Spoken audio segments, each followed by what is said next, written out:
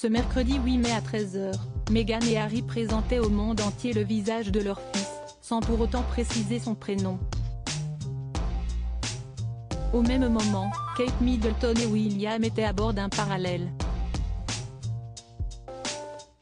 Ce mercredi 8 mai est un grand jour dans la famille royale britannique, depuis le hall du château de Windsor, Meghan Markle et Prince Harry ont dévoilé au monde entier le visage de leur petit garçon, sans pour autant décliner le prénom qu'ils lui avaient donné.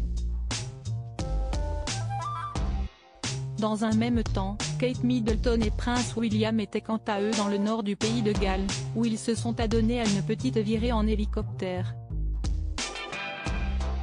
Alors que Meghan Markle portait une robe blanche issue de la maison Givenchy, Kate Middleton, rayonnante, avait quant à elle opté pour un blazer rouge de la marque Philosophie, assorti d'un jean et de bottes noires. En visite au pays de Galles, le duc et la duchesse de Cambridge sont partis à la rencontre de travailleurs en vue de la protection de l'environnement local.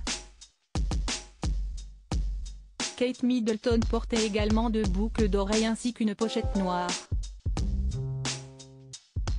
Journée marathon pour la famille royale alors que la présentation de leur neveu était acclamée par des centaines de millions de téléspectateurs à travers le monde, Kate Middleton et William, eux, s'apprêtaient à visiter la base d'hélicoptères de recherche et de sauvetage des gardes-côtes de Camp Arfon. Selon Hello, ils ont notamment pu apercevoir les nouveaux hélicoptères fraîchement construits, et ont aussi longuement conversé avec les professionnels présents pour les accueillir.